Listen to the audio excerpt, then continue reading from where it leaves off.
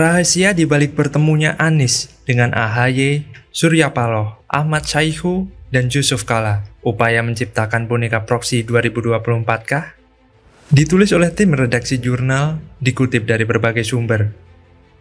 Kita lihat dan kami percaya partai-partai politik ini akan mengedepankan kepentingan bangsa, kepentingan negara di dalam mereka menyusun koalisi dan di dalam mereka nanti menentukan calon-calonnya saya sebagai orang yang baru selesai, nanti nih selesai, sesudah itu nanti kita lihat apakah kemudian saya akan berada di wilayah politik atau wilayah yang lain, kita lihat besok.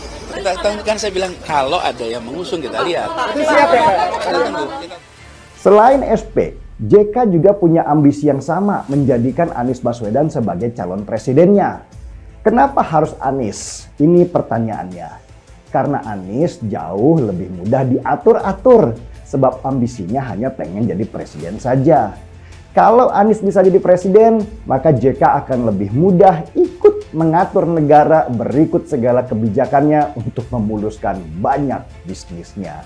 Ya, Anies adalah anak ideologis dari JK. Artinya meski secara darah dan daging tidak ada hubungan, tapi Anies seolah banyak mendapat kemudahan jalan politik lewat jalurnya Pak Yusuf Kala. Dan hal ini diakui sendiri oleh Pak mantan presiden spesialis periode awal ini dari zaman Pak SBY dan zamannya Pak Jokowi, yaitu Pak JK. JK memang seolah menjadi apa ya? Sebut saja ketua tim ses lah, seolah-olah ya.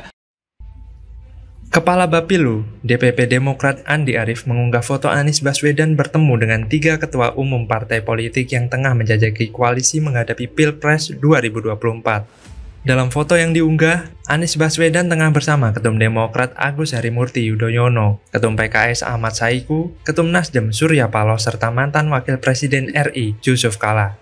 Pertemuan itu sebelumnya diketahui dari unggahan Kepala Bapilu DPP Demokrat Andi Arief di akun Twitternya Minggu 18 September.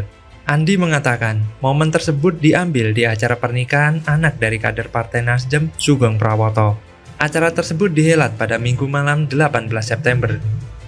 Diketahui, Partai Demokrat, PKS, dan Nasdem tengah menjajaki kemungkinan berkoalisi menghadapi Pilpres 2024 mendatang. Petinggi masing-masing partai sudah bertemu. Tiga partai tersebut juga menyambut Anies Baswedan ketika menyatakan siap menjadi calon presiden di Pilpres 2024 mendatang. Ketua DPP Partai Nasdem, Willy Aditya, mengatakan bahwa sikap Anies itu sejalan dengan keinginan kader partainya yang tercetus dalam Rakernas 2022.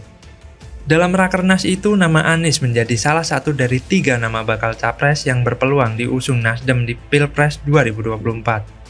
Meski demikian, Willy menyatakan keputusan terkait nama capres yang bakal diusung Nasdem akan diputuskan oleh Ketua Umum Surya Paloh. Sementara, kader Partai Demokrat juga mengidamkan Anies diusung bersama AHY di Pilpres 2024. DPD Demokrat DKI Jakarta berharap DPP mengutamakan Anies dan AHY untuk diusung di Pilpres mendatang. Ketua DPP PKS Ahmad Mabruri turut merespon positif. Menurutnya, PKS terbuka jika Anies membutuhkan partai politik untuk menjadi calon presiden. Wah wah wah, makin tersirat ada udang di balik bakwan nih. Agaknya membuat curiga bahwa pertemuan antara mereka merupakan potensi duet maut untuk menciptakan boneka proksi elit berkepentingan di negeri ini. Anies yang kita tahu sebagai pelopor bapak politik identitas di Indonesia nyatanya makin dilirik untuk dicalonkan dalam kontestasi Pilpres 2024 nanti. Entah pesona apa yang menyihir Chaplin dan kawan-kawannya hingga terus mengawal Anies maju Pilpres. Padahal selama menjabat, praktis tidak banyak karya yang terlihat nyata berdampak pada mayoritas warga DKI Jakarta. Yang ada justru jauh lebih banyak program anfaedah, juga sisi kontroversial terkait penggunaan anggaran dan cara-cara liciknya dalam mengamankan posisi sehingga tak jarang muncul tudingan bahwa Anies seperti untouchable person dari jeratan hukum.